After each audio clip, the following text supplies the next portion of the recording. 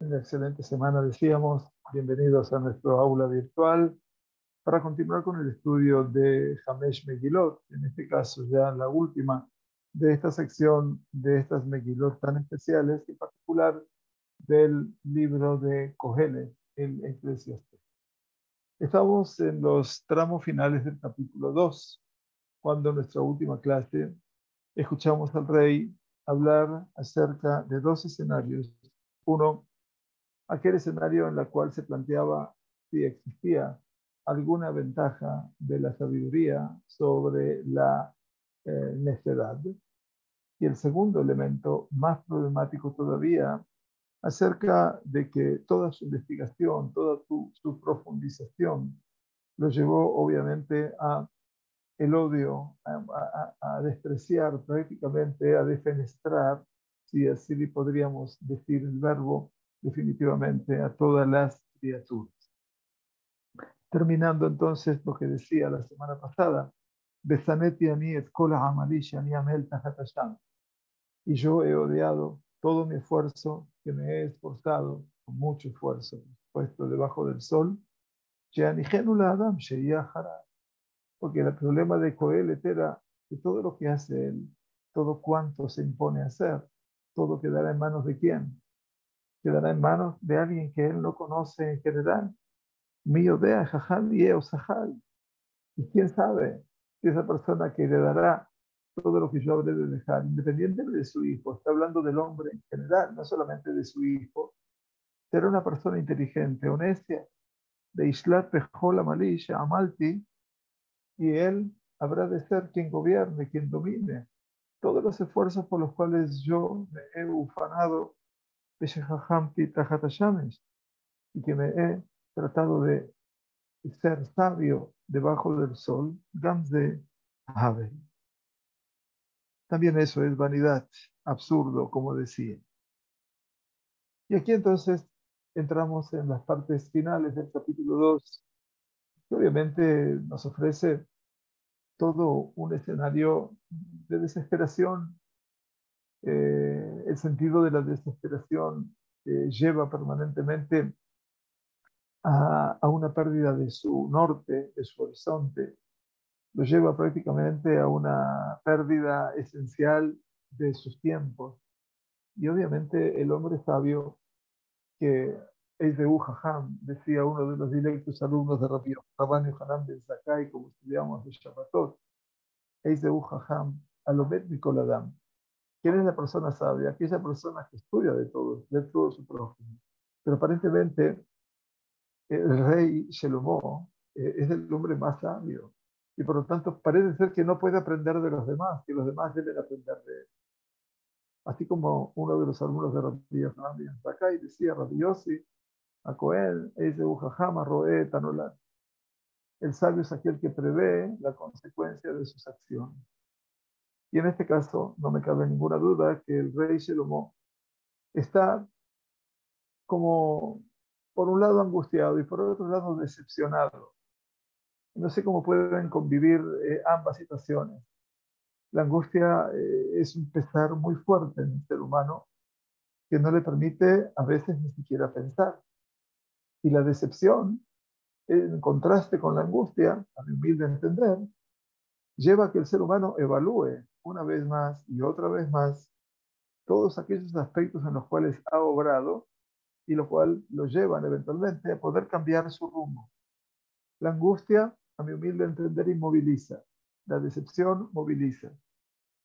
Y este rey Shelomo, que se encuentra entre esa angustia y esa decepción, parece tener esas contramarchas eventualmente permanentes a lo largo de lo que es una vida sumamente productiva, una vida donde supo del poder, de la lujuria, donde supo de las riquezas, donde supo de la sabiduría y la pudo instalar no solamente en su demostración a los demás, sino que como hombre sabio la perpetuó en sus escritos. Más de 3.000 metáforas, 3.000 ejemplos, 3.000 poesías escribió el rey Shelomo.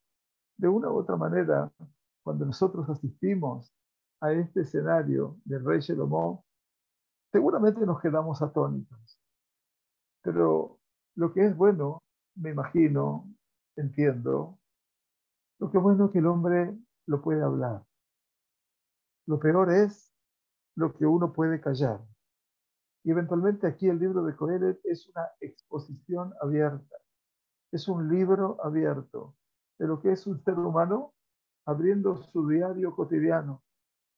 Yo creo que es un diario horario, pero vamos a llamarlo un diario cotidiano.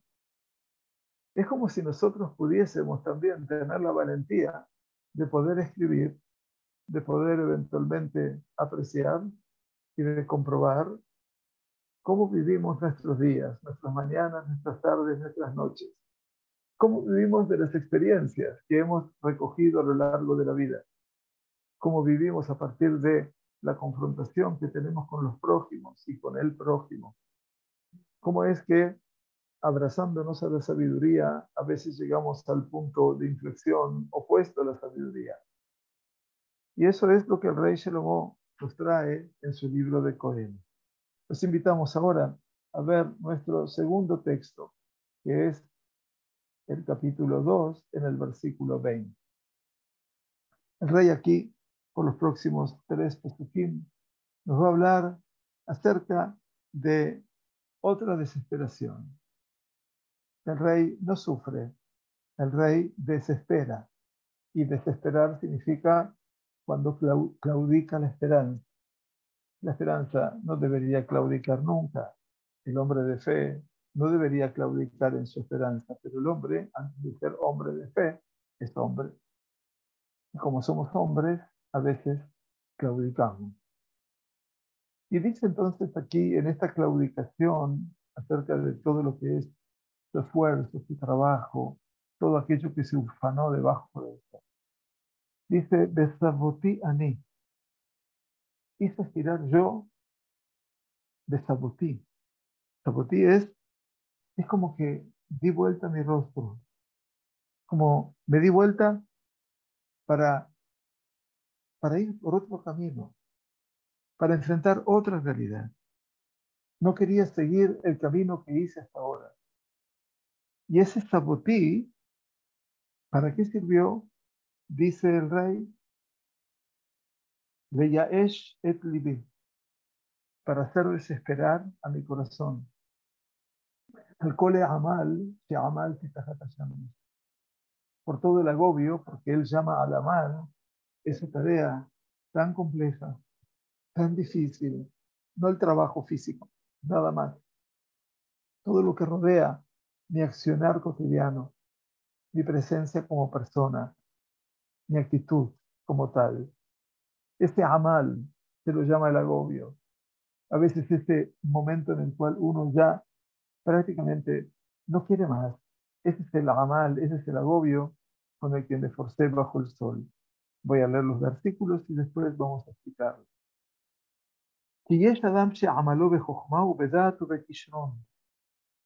Dice el rey Salomón en su versículo 21, pues hay hombre que su esfuerzo es con sabiduría y conocimiento y con aptitud.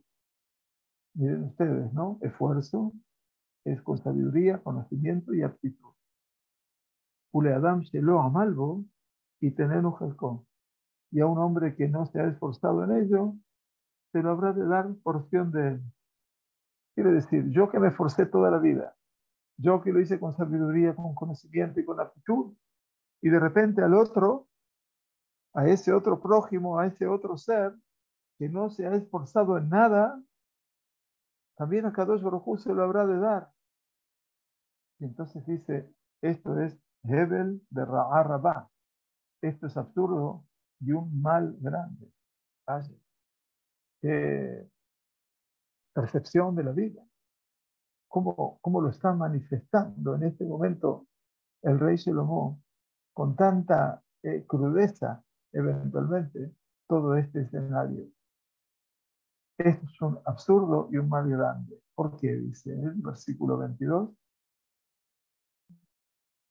Y me vela Adam Pues ¿Qué haber tiene el hombre por todo su esfuerzo y por el quebranto de su corazón? Que Amel lo que él se esfuerza bajo el sol. Que a ver tiene, Mahové la Adam. Mahové la Adam quiere decir qué provecho tiene de todo ese esfuerzo, de toda esa voluntad, de todos sus anhelos, de todos sus deseos, de todo lo que el hombre se propone eventualmente debajo del sol. Y el último versículo de esta parte, no del capítulo, dice,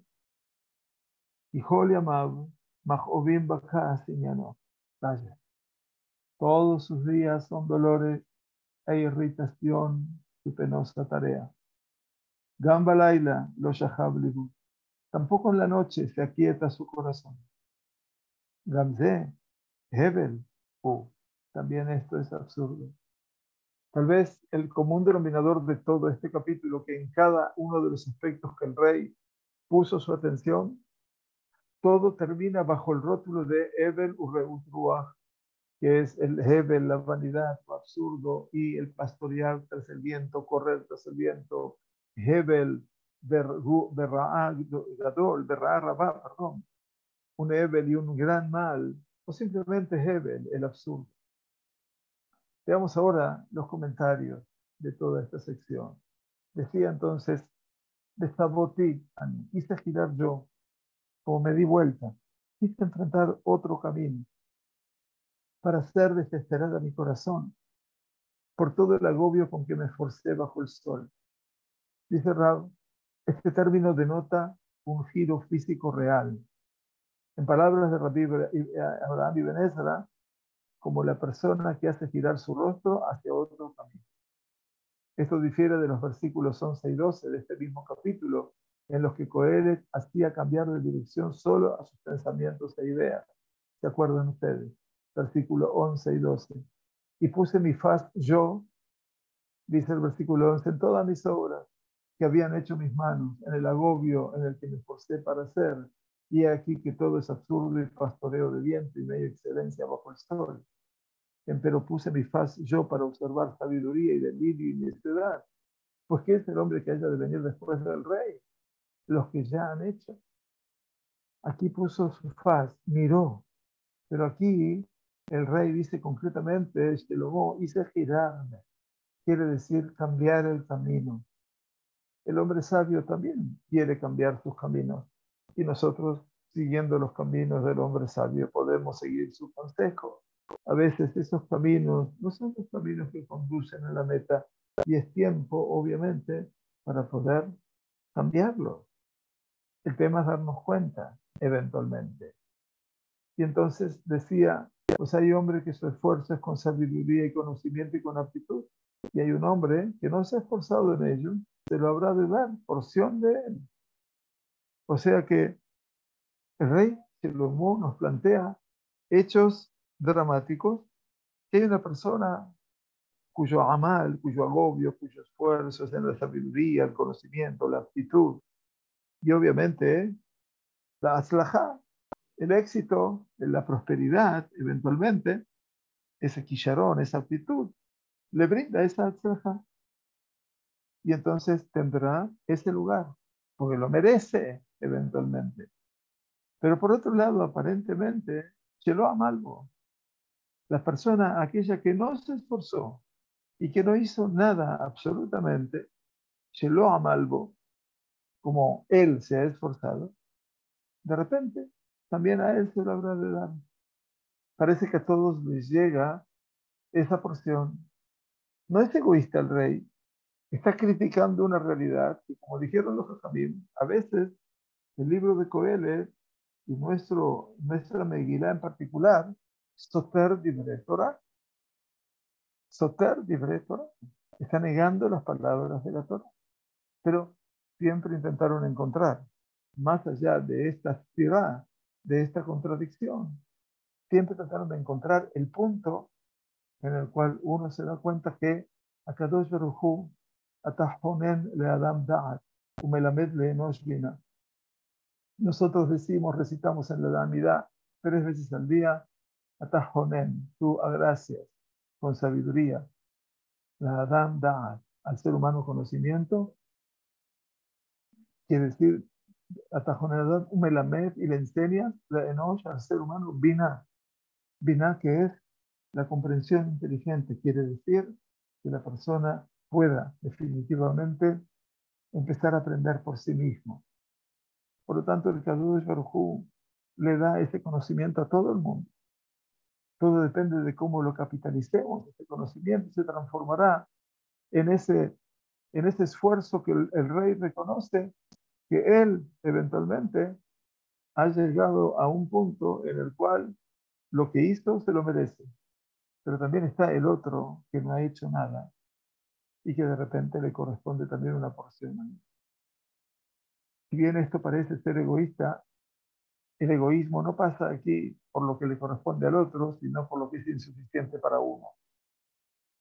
Aquí entramos en los niveles que yo mencionaba de insuficiencia. No es fácil alcanzar ese punto de suficiencia en la vida. Máxime cuando cotejamos la realidad y esa realidad que cotejamos nos muestra dos aspectos completamente opuestos entre sí, enfrentados entre sí. Es el libro de los opuestos, el libro de Coelet, como vamos a ver en el capítulo 3. Y pregunta entonces, pues qué haber tiene el hombre por todo su esfuerzo y por el quebranto de su corazón, lo que él se esfuerza bajo el sol.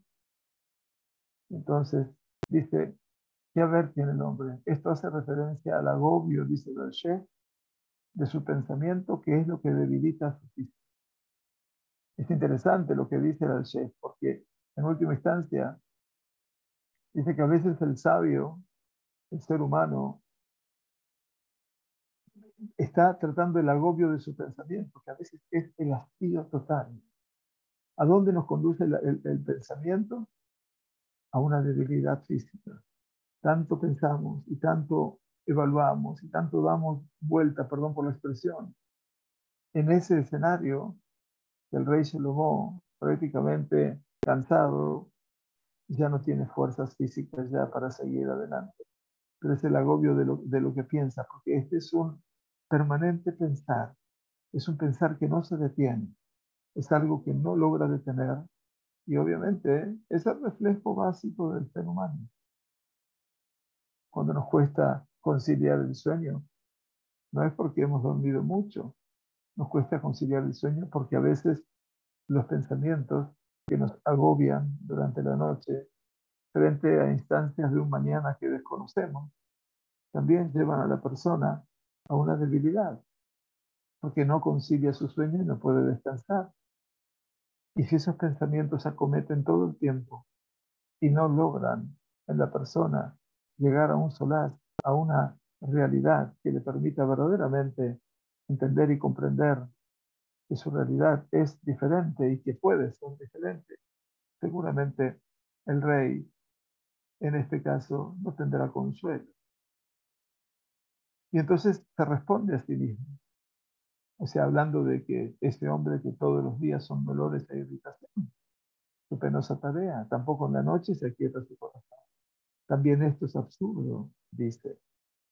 Y aquí, obviamente, el rey dice, eh, explica el Rab, esta idea abstracta ha sido ejemplificada y expresada analíticamente en el capítulo 5, 11, cuando dice, dulce es el sueño del trabajador. Metukan shenata Si poco o si mucho ha de comer, empero la altura para el rico no le deja dormir. El trabajador que tiene poco y al rico que tiene mucho. Y Ben cuando analiza este, este versículo, agrega que son conocidos los temores del acaudalado y sus múltiples pensamientos. Comentando nuestro versículo, dice Rabbi Abraham y Ben que supo mucho de dolor y que supo mucho de indigencia, ya que todo el día cuando está despierto y en actividad, todas sus penosas tareas son con angustia de su ser e irritación, ya que no siempre le concuerdan sus cosas con su pensamiento. Tampoco de noche reposa su mente, ya que la mayoría de los sueños están relacionados con los pensamientos del día. O sea, con la jalomoto, el todos los, los sueños van en pos de lo que representa el relato de los mismos, pero por otro lado, en Mar'in Lola Adán, Ela, Mejirura Elibó, dicen los Jajamim en el Tratado de Berajot, ¿con qué uno sueña? Dice, lo, lo, que se le muestra a cada persona en sus sueños son los Hirurei Libó, los pensamientos de su corazón, todas aquellas cosas que lo aquejan, todos aquellos temas que le son realmente conflictivos y que en última instancia el hombre intenta resolverlos desde una perspectiva no mágica, sino con su insomnio. Por eso dice, todos los días son dolores, días son dolores e irritación penosa, su penosa tarea. Tampoco en la noche se aquieta su corazón. También esto, dice, es Ruach, Hebel. También esto es absurdo, eventualmente. Y así entonces llegamos ahora a los tres últimos pesukim de este capítulo 2. Capítulo muy complejo, pero que va ingresando cada vez, cada vez perdón, en lo más profundo de, de esta madera que representa el árbol de la vida. Ein tov ba'adam sheyochal beshata, ve'era et nafsho tov ba'amalo. Entonces dice, no hay mejor entre los seres humanos, no hay mejor cosa el que coma y el que beba, y el que haga, el que haga ver a su ser lo bueno de su esfuerzo. Dice, ah, amalo.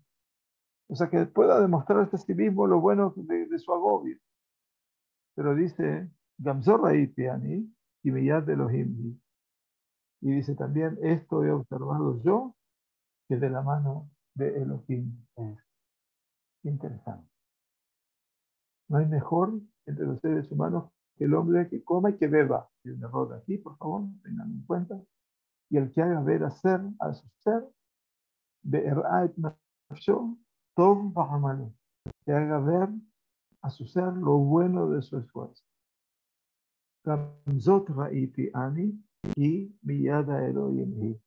También esto he observado yo, que de la mano de Elohim es. Todo esto forma parte de una decisión que dice el autor, que dice Coelho. No hay mejor entre los seres humanos. que cosa mejor comer y beber.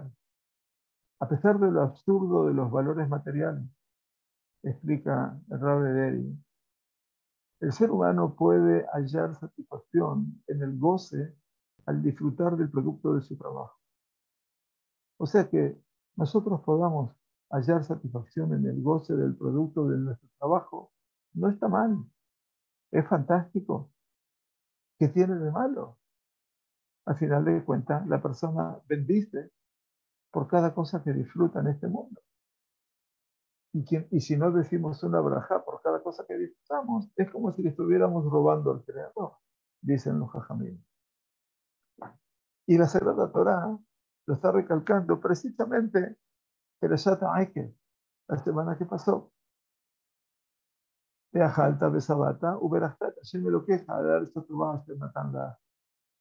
Nos dice en Perashat Aikel, comerás y te saciarás y bendecirás a Hashem tu Dios por la hermosa tierra que Él te ha dado. Apreciar lo bueno es también condición de los seres humanos. O sea, toda nuestra intervención con el mundo material, nuestra intervención negativa. Además, Rabbi Obadiah forno citando a su vez a Deuteronomio 11:15, que es en nuestra Perashá, en, en que perdón. Dios le dice al hombre, comerás y te saciarás.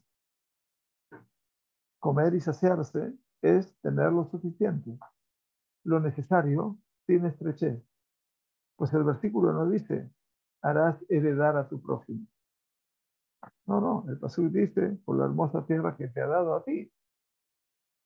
O sea, harás heredar al prójimo, no dice, así entiende este exégeta las palabras de Coeles, que de la mano de Elohim es. O sea que todo esto es para ti, no para el otro. La problemática del rey Shelomo es dónde quedará todo. Y esto es para ti, disfrutar de este mundo material. Es parte de tu heredad. Sin embargo, Rabbi Abraham la interpreta de forma diferente estas últimas palabras de Coelho diciendo, el que acopia bienes se asemeja al custodio y no tiene autoridad para tocarlo hasta que Dios le dé autorización. ¿Qué significa? En otras palabras, establece la diferencia entre la posesión de bienes y la libre disponibilidad de los mismos. O sea, todo lo que uno puede tener y por otro lado, lo que pueda disponer. Lo que yo tengo no es lo que yo dispongo. Me parece un contrasentido, pero esto es lo que lleva a Benes a decir, no siempre tenés que mirar lo que tenés, porque a veces no disponés lo que tenés. Hay que hacer una diferencia entre la posesión de bienes y la libre disponibilidad de los mismos. Además, es eso lo que está diciendo Joelet en el versículo 26, al final de este capítulo. Empero el errado le dio la tarea de y para dárselo al que es bueno ante lo oído. Por supuesto, Coelet hace estas afirmaciones amparado por sus exigencias de acuerdo a la categórica afirmación del versículo 25, saltar la novedosa definición que hace Coelet de los conceptos Adam Shetov Lefanab, el hombre que es bueno ante él, es aquel a quien Dios ha dado sabiduría y conocimiento y alegría, o sea, el conocimiento y la capacidad de entender la vida, por lo menos en su dimensión material y a quien además ha dotado con la capacidad para regocijarse con lo que posee, independientemente de la cuantía o dimensión de su bien. Disfrutar de lo que tiene, regocijarse con lo que posee. Hasta Meach diría el Pirkeo. Mientras Coele define al, al eh, Joté, al pecador o errado, como aquel a quien Dios le ha dado como la meta principal el acopio de bienes, en última instancia se dan la recompensa de quien es bueno ante Elohim. Veamos ahora los versículos para poder entender lo que estamos leyendo. Volvemos al versículo 24. No hay mejor entre los seres humanos que el que coma y el que beba y el que haga ver a su ser lo bueno de su esfuerzo. También esto he observado yo que de mano de Elohim. Pues, ¿quién habrá de comer y quién habrá de sentir no siendo ya? Y mi es decir, la traducción no responde exactamente, pero que dice, porque ¿quién se habrá de eh, apresurar a conseguir su, lo que busca, lo que quiere, su yo, como dice aquí? ¿Quién se apresurará y quién se habrá de sentir? Mimeni.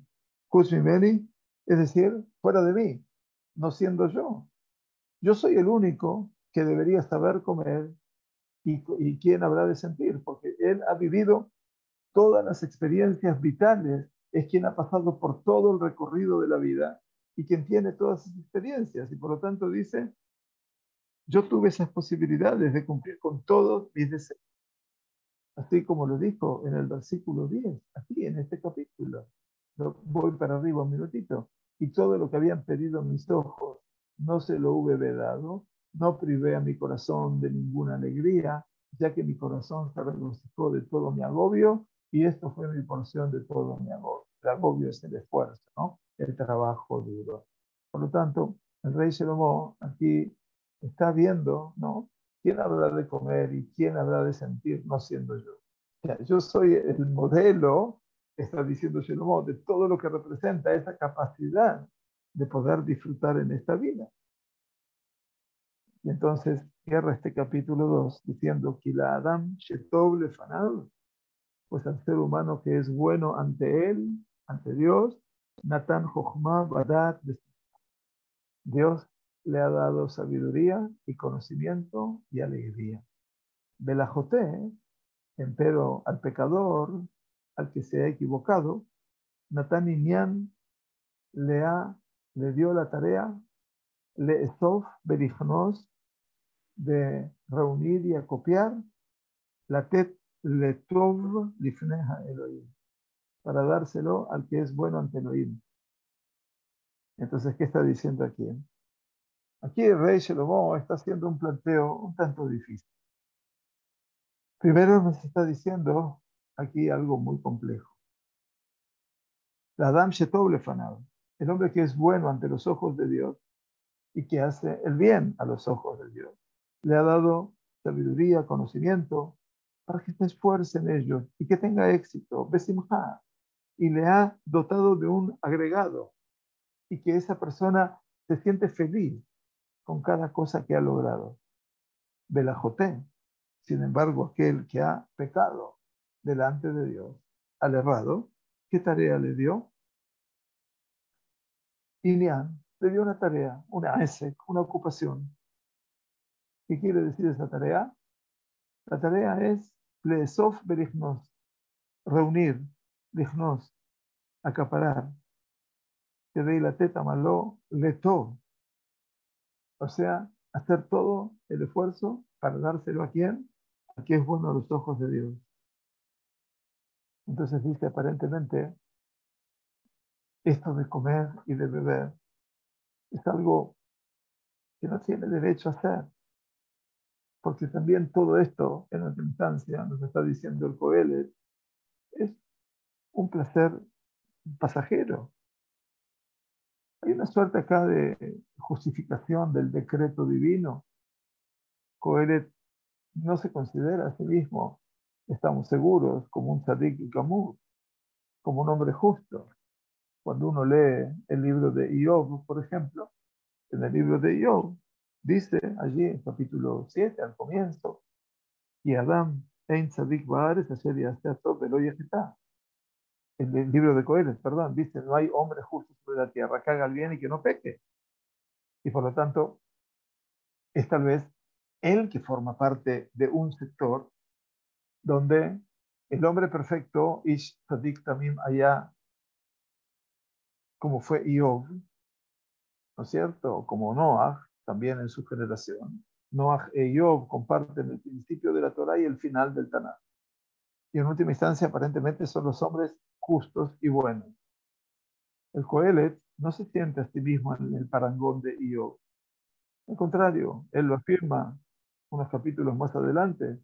¿Quién Adam Sadik esa sería No hay hombre justo en la tierra que haga el bien que no peque. Y esa mirada, obviamente, para con su misma realidad, eventualmente, lo lleva a comprender y a entender de que, bueno, es un mortal como todos los mortales. Veamos lo que tenemos aquí en el versículo 26 pues al ser humano que es bueno ante él le ha dado sabiduría y conocimiento y alegría, pero al errado, al pecador, le dio la tarea de reunir y copiar para dárselo al que es bueno ante Elohim. Parece ser que el pecador, el malvado, trabaja para mí. Y dice también, esto es absurdo y pastoreo de viento, perseguir tras el viento. Ya que esta, dice, es una, es una finalidad no importante.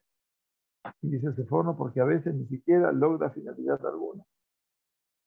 O sea que, en última instancia, el rey Coelet llega en este segundo capítulo a hacer un paseo, si se permite la, expresión, por muchos ámbitos que tienen que ver con la, la realidad del ser humano.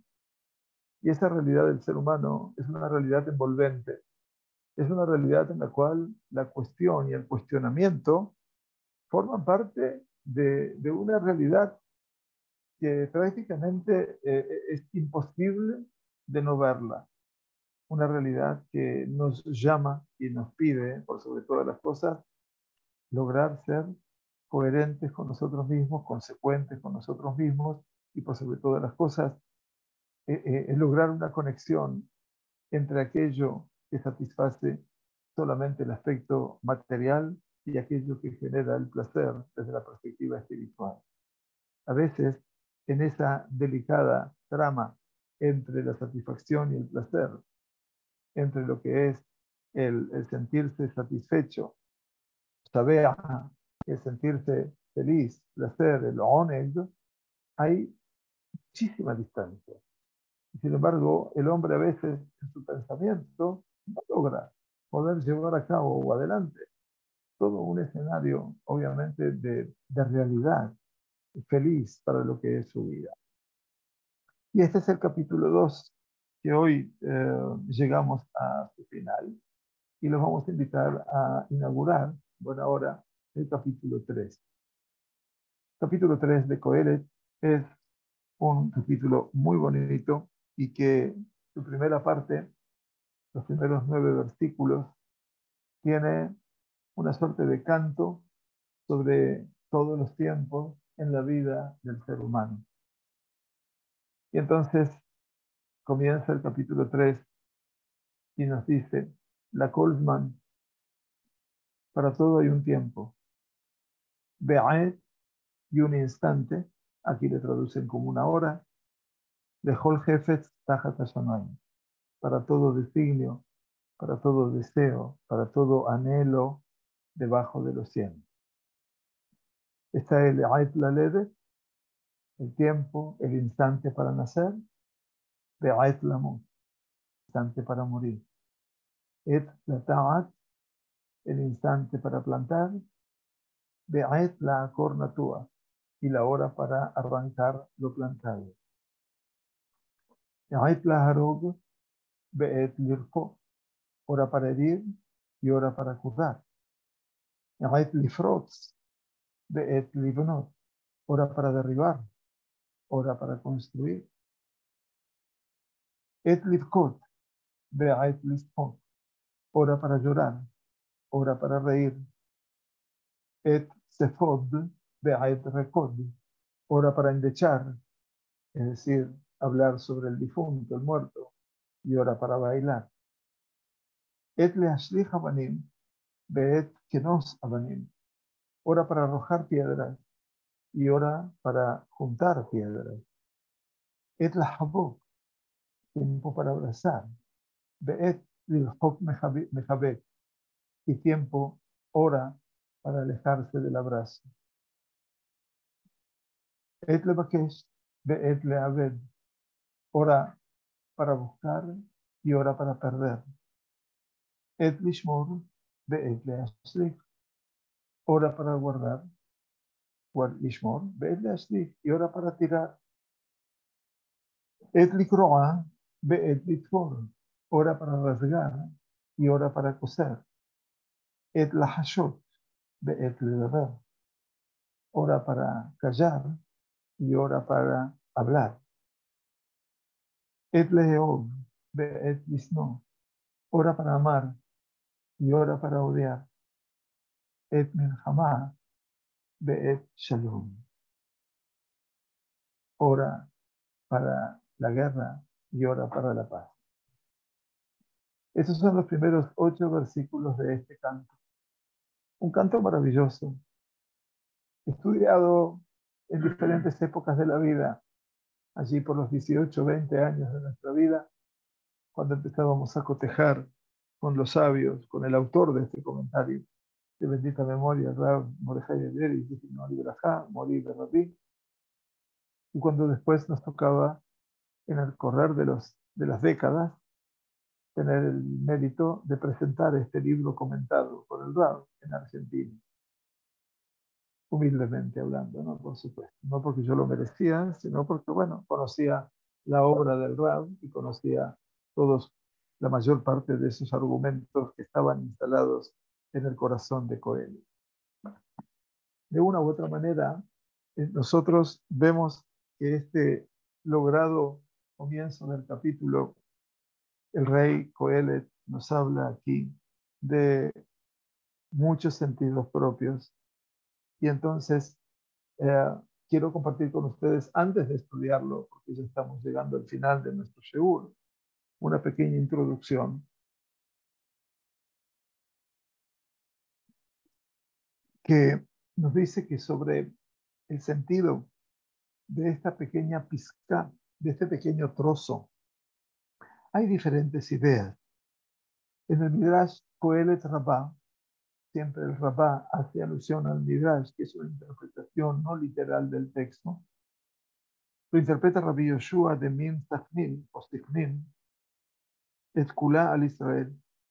Dice que toda esta pizca, todo este trozo, sección, la interpreta sobre el pueblo de Israel y ve en cada cela, en cada renglón, una alegoría a un solo tema que explica en uno de sus lugares la Torá o los profetas.